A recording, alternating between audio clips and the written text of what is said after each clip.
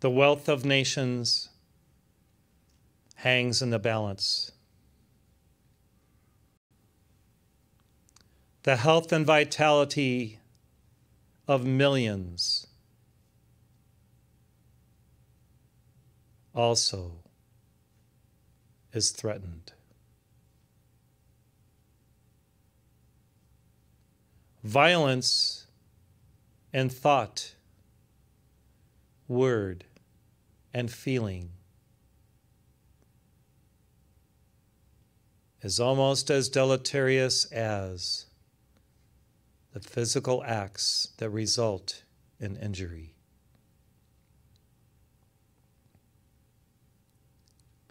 My disciples respond to the call from within.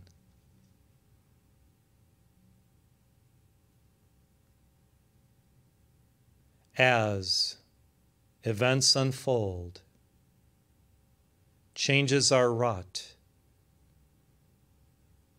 and the challenges are met with courage and resolve. This day is the day of awakening. This day is a day of atonement. This day is a day where you, O soul, may respond to the God light within and through holy resolution, determine to be in alignment with that holy will of God. Do not succumb to the miasma of the mediocre ones, for you were called long ago to be intrepid victorious. In your assent to that will, yes, the ASSENT and the ASCENT. For in your ascent to God's will, naturally you ascend as you fulfill it. by qualifying yourself through obedience to that will. As a determined one, you stand out from among the masses in order to give the fullest measure of your victorious selfhood toward this holy cause of planetary enlightenment, freedom, and victory. Each of you has matured to a great extent in your God self realization of late. Yet more remains for you to accomplish, to fulfill in order that that full measure may be bestowed upon humanity and offered on the altar of transmutational change. What is it then, O soul, that you would give today and every day in terms of your brightest and best, your talents, your spiritual gifts, so that many more may be moved by compassion to respond to the frequencies of that holy blue fire will from on high. As you are steady, sure, as you are constant and awakeningly determined. I am there in your midst through that fire that you invoke, treating you no longer as slave or chela, now as brother, sister, as holy friend, as compatriot, as initiate of the sacred fire. And in this tryst, our work proceeds. In this divine process of giving and receiving of that will, of first understanding the anointing that comes from on high, and then the responsibility and the accountability whereby that holy oil may indeed bless thousands and millions. We together move forward as one in the one light, the one supernal glory of that will divine. I am determined, even as you are determined, to be victorious in all of the measures that the great white brotherhood has set forth as required for our victory in this hour. Many skirmishes occur, and sometimes disciples become embroiled in duality in the short term. Yet I see beyond these to the final battle wherein the light of God prevails victoriously on behalf of all life, all men, women, and children, all cultures and peoples, so that all may live in the equality of divine opportunity that God provided all in the beginning and which has temporarily been compromised by the dark ones throughout the earth. They have no power over you, O soul, save what you allow them to wield over you. Yet your over soul is greater than their machinations. Your God power which you have just invoked, will and does make the difference each hour, each day, in your overcoming the worst of the worst of your past. For doors are unfolding, windows of opportunity are presented unto you each day to breathe in the fresh aroma of heaven's perfumes and glories. And if you abide in your presence, if you succeed in ascertaining what is real and determinedly giving your highest offering to the divine, I am there within that offering. I am there suffusing you with the full measure of my presence in order that you, one with God, can move forward indeed unto perfection's glory. The naysayers are everywhere.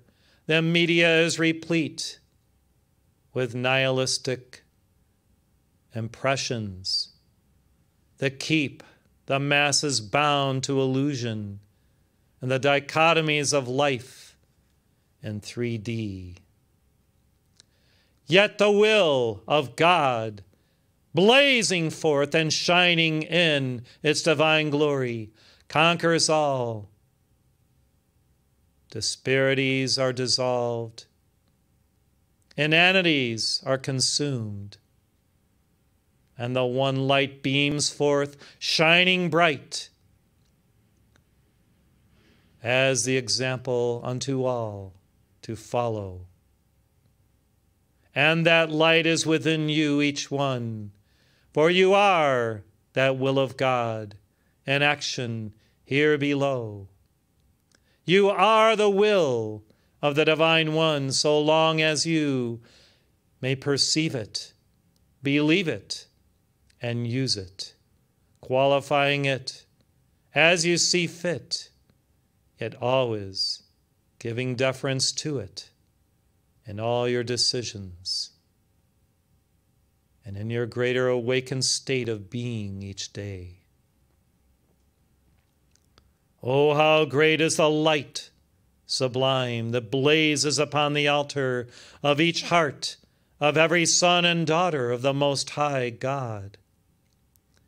Yet many perceive it not, few feel it as you do, and rare are those who fan it with devotion and inner praise of the God light.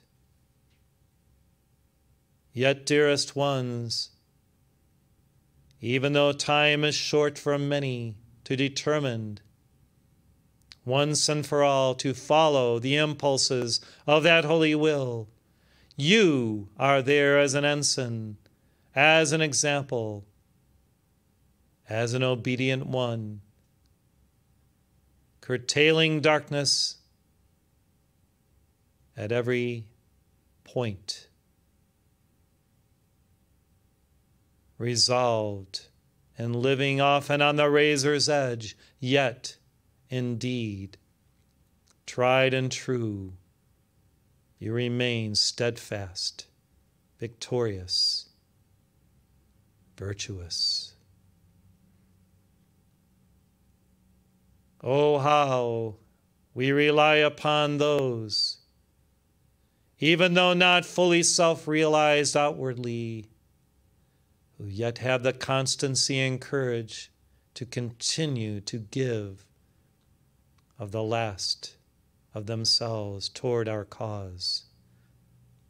It is the humble ones, as you, blessed hearts, whom we dearly rely upon to invoke that light, to be that will, and to manifest the glory of it each day on behalf of the masses who yet remain in the shadows of the nether worlds of illusion.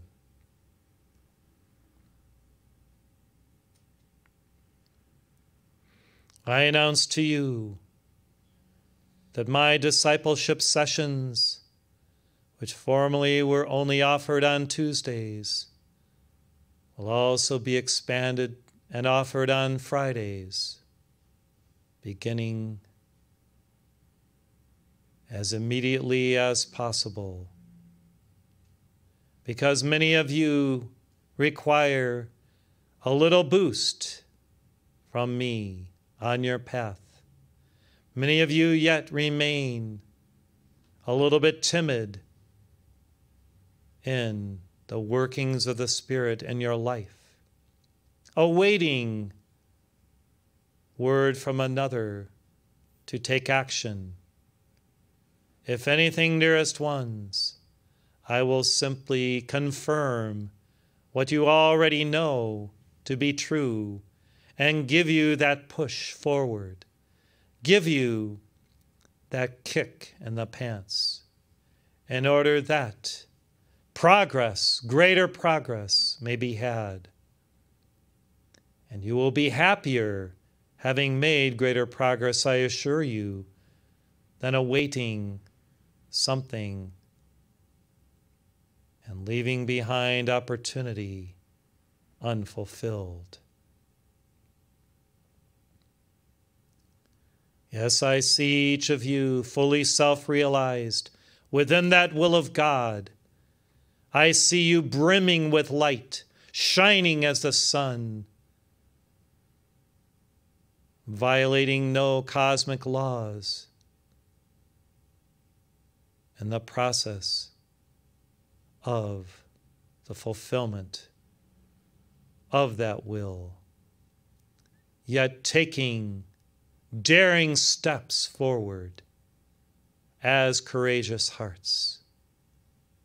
Leaps and bounds, if you would, toward the final victory and goal. Where are the courageous ones throughout the nations? They are often in holy meditation upon that will. Or in the churches, the synagogues, the temples, silently offering self to the Divine One in intimate prayer and conversation. Or in nature, partaking of the Blessed Mother Earth's sacred gifts throughout this world. I bring all of these to Thee, O Lord, as my offering this day. The humble hearts, the courageous ones, the intrepid souls of Thy glory. Are there enough righteous upon earth to save the nations and the wealth thereof? I say, Yea. And if you agree, O my God, O my Lord, then deliver them this day with your arrows of light, and let the bastions of freedom remain upon earth where souls may be free to worship as they please, unhindered by the machinations of the fallen and the dark.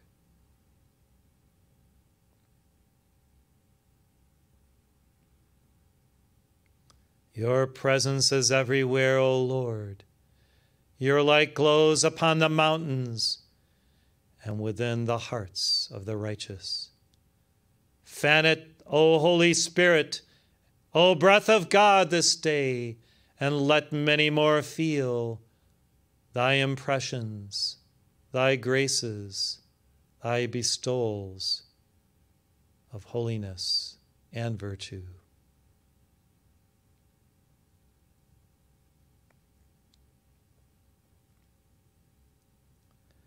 Next year, 2022, the Divine Director will offer sessions through this messenger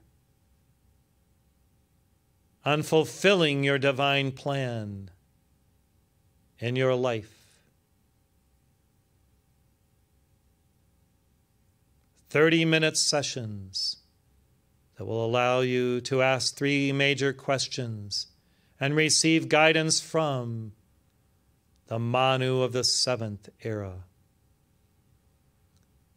Dearest ones, if I were you, I would take advantage of this opportunity beginning January 1st in order that you will see all clearly through His perfected vision of who you are as a God self realized man or woman.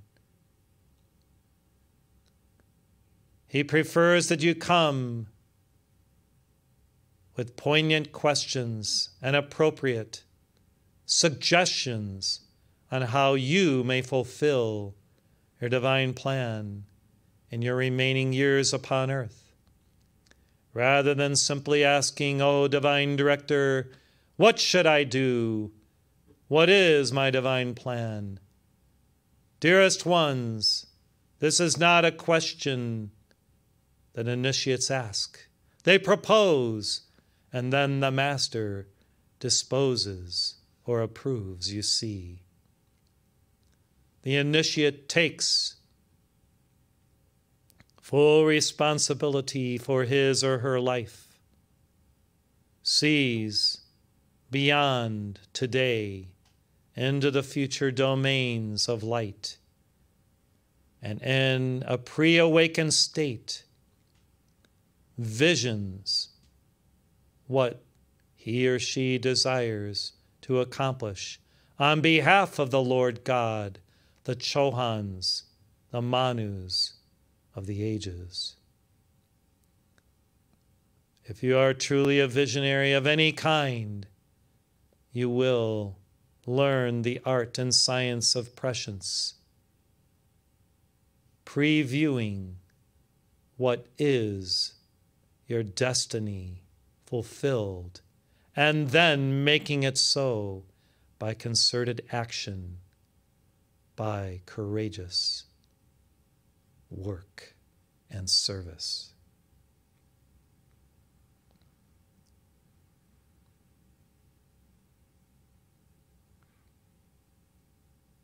I am replete with many divine gifts to offer many of you. If you would simply be determined, ask for them, and then work to receive them.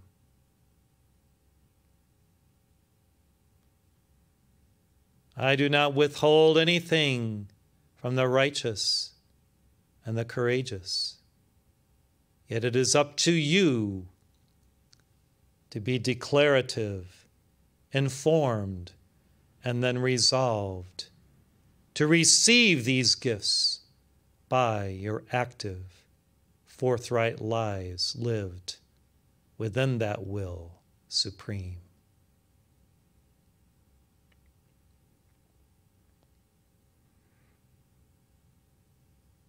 This activity and community of the Hearts Center is one of our major divine endeavors to inculcate within the earth divine wisdom. Holy Theosophia, on behalf of thousands of initiates moving toward their full God self mastery, self realization, enlightenment, and ascension. Yes, there are many other communities of light wherein disciples worship in other ways. Yet, dearest ones, this is one in which immediately the angels bring the light that you invoke to our retreats and to the cosmic reservoirs in the etheric plane to be adjudicated and utilized for God good within the earth. Your morning sessions accomplish much, even much more than you can believe outwardly. And if you saw the effects of even one more attending each session and how it multiplies the action of light, you would always be present and ready for action in your chairs, one with us in spirit in voice and in vibration. One soul can make a difference for a thousand across the earth, saving suffering, transmuting darkness, avoiding catastrophes of all kinds. If you believe that you are the one, as you have averred in your prayer to me, then through that belief, that faith, it is so, and you are the one holding back the dark storms of today. You are the one blazing forth that light to awaken and christen many within the glorious will of God fulfilled in their lives. You are the one through whom that holy will proceeds and flows to accomplish seeming miracles among the nations and even in your own families and homes. What miracle have you seen of late in your life? If you are not experiencing some dynamic and amazing transmutative, and fulfilling activity. Then look within, dearest ones, to see how you may have compromised the light in some way. Resolve to change, accept greater light within your soul, and allow your spirit to then behold the glory of God manifest and fulfilled through the Holy Spirit's graces in your life. I believe in you as you believe in me, and God within all. Since my belief is true blue, and yours is bordering on that same sheen and glory. Together, our faith, sure and noble, moves all forward in that glory divine, and that will sublime. Dearest ones, I am with you always, intimately conversing with your spirit.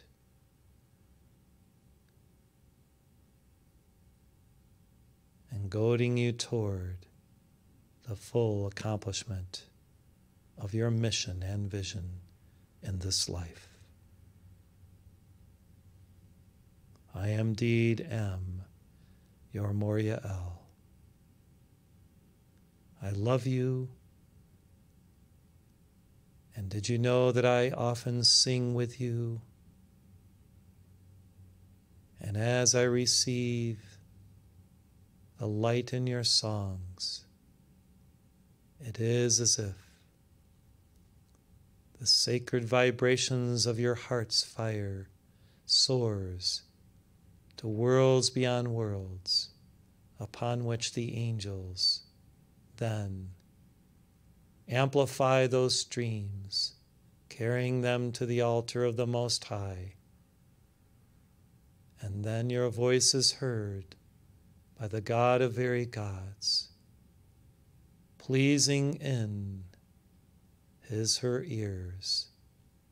The light is there, your presence is known and God whispers back unto you, O my beloved, I am with you always. Be safe. Be love, for I am your safety, and I am love within you. Thank you, my dearest my blessed and beloved friend.